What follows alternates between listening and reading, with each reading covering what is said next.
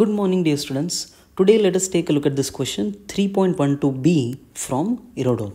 You can find many solutions for this question online. What I want to offer here is a visual perspective which makes the question very easy to solve.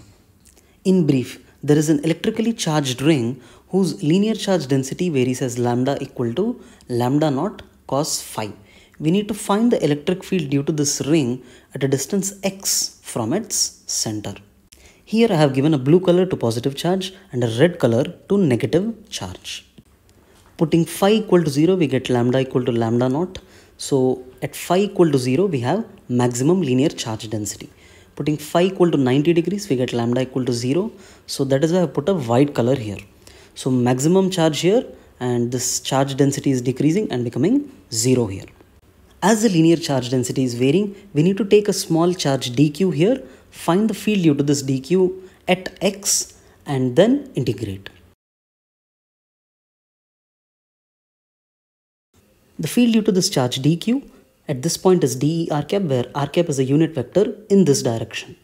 The reason this question is tough is because for each dq, the dE varies and also this r cap varies and it becomes difficult to predict the direction of the final electric field at this point. The value of dE is k dq by r square. So k dq by r square. We can write r cap as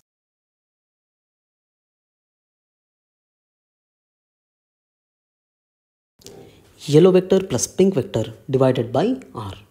Now let us draw many field lines here due to different dq's and see how it becomes really easy to solve. Here I have drawn field lines due to dq taken at different points on the ring. The blue arrows represent the field due to positive charge and the red arrows represent the field due to negative charge. Now I'll play the schematic and observe if you can find any symmetry.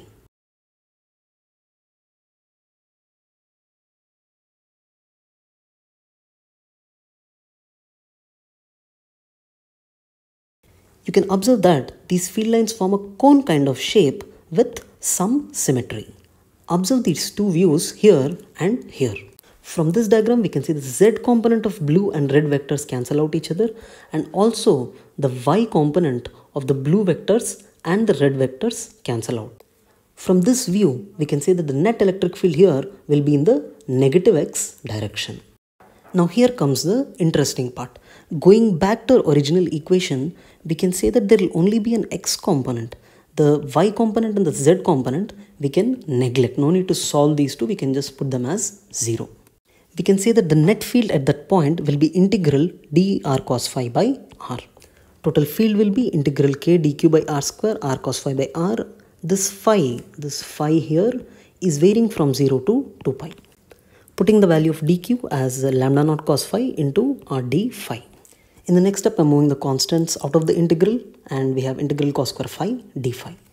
In the sine square phi versus phi graph, we know the area under each of this bump is pi by 2.